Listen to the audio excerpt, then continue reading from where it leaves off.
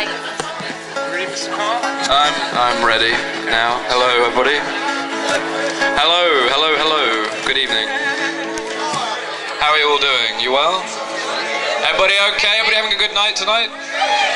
Cool, cool. Wait, can you just wait a second? Okay, we're just gonna hold on. Julia's drinking a glass of water, as you can see. Or is that a pint of vodka? Kind of vodka. Who knows? Anyway. Okay. Something a little different now. There is no death. There are no dead. There are no countries.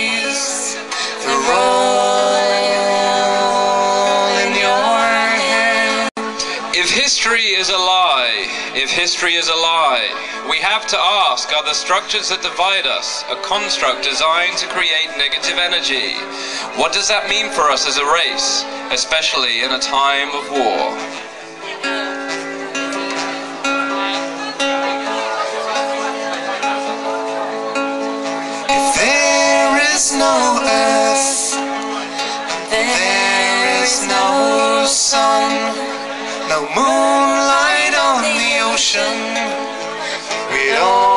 Still be one.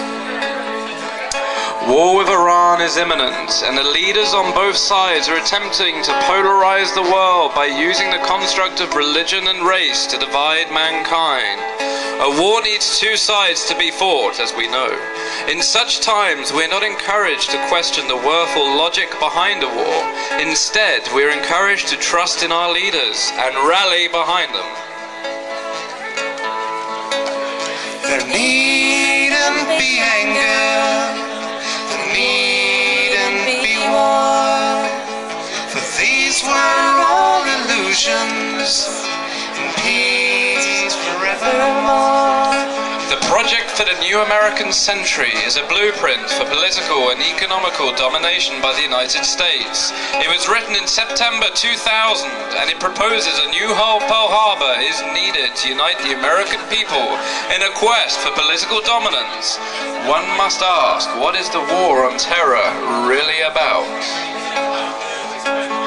There are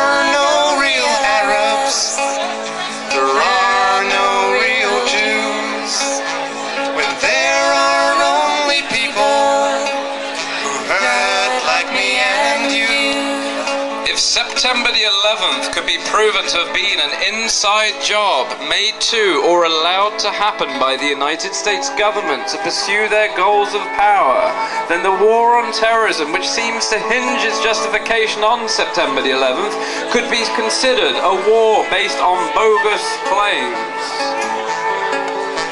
There is no death.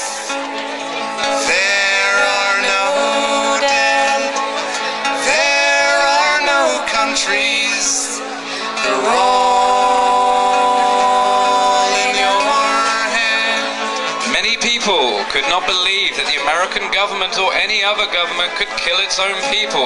But in 1962, the US military proposed just such a scenario in the Northwoods documents to fake terrorist attacks to allow the justification for the invasion of Cuba. Ladies and gentlemen, we must ask, is history a lie? Well, is it? Anybody know? I'm trying to find out myself. There is no death. There are no dead. There are no countries. They're all